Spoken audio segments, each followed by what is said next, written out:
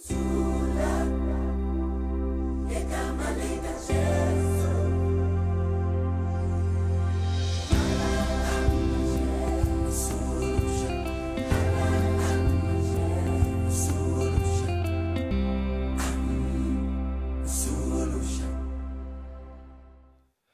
very good day to you and welcome to the program. I'm sitting in the garden. I've been doing a bit of carving. I'm, I love carving sticks, walking sticks.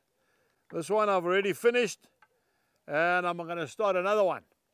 I've got my two little dogs here, long-legged, long-haired Jack Russells. They're not very obedient, but I love them to bits. I want to speak to you today about standing still. Now, I'm speaking to you about this because it affects me. Folks, we need to slow down, we need to stand still, and we need to listen to God. If you go to 2 Chronicles chapter 20, uh, just one verse, and that is verse 17, this is what the Lord says to Jehoshaphat You will not need to fight in this battle. Position yourselves Stand still and see the salvation of the Lord, who is with you, and O Judah and Jerusalem, do not fear or be dismayed. Tomorrow go out against them, for the Lord is with you. Folks, that's almost identical to Exodus chapter 14 and verses 13 and 14. Let's just go there, just one verse. And this is when Joshua, um, Moses was taking the, the Israelites out of Egypt. Exodus chapter 14 and just two verses, 13 and 14. I just love the word of God. I tell you what, it's like medicine in my soul. And Moses said to the people, Do not be afraid. Stand still and see the salvation of the Lord, which he will accomplish for you today. For the Egyptians whom you see today, you shall see again no more forever. Verse 14 The Lord will fight for you, and you shall hold your peace. You don't have to do anything.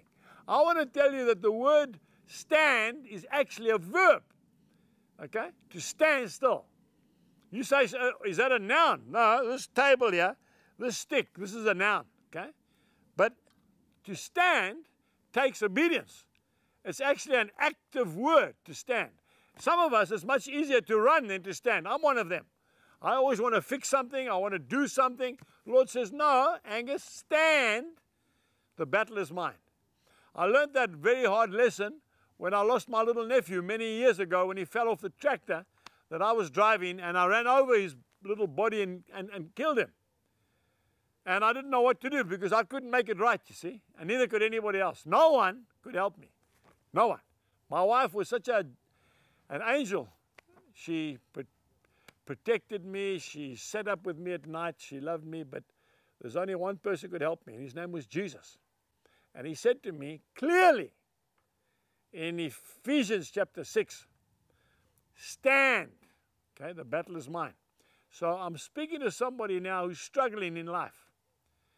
You don't know what to do. You don't know which way to turn. You don't know where to go. The Lord says to you today, my dear friend, stand, the battle is mine. You say, Angus, I don't know where the next mouthful of food's coming for my children. Angus, I've tried everywhere. I don't know where I'm going to get a job. The Lord says, stand. You've just come from the hospital, and they've given you basically the death, the death warrant. They've said to you they can do no more for you. It's a terminal case. Go home and die. Stand. The battle is the Lord's. I want to tell you, I believe in miracles. I have seen God literally raise the dead. Stand, the battle is the Lord's. So I don't know what it is that you're going through at the moment. Maybe it's a massive fight that you're going into. The Lord says, Be of few words. Stand, and I will fight for you. So until the next time on this program, remember if Jesus is for you, there's no man that will stand against you. Goodbye. We trust that you have been blessed by today's message.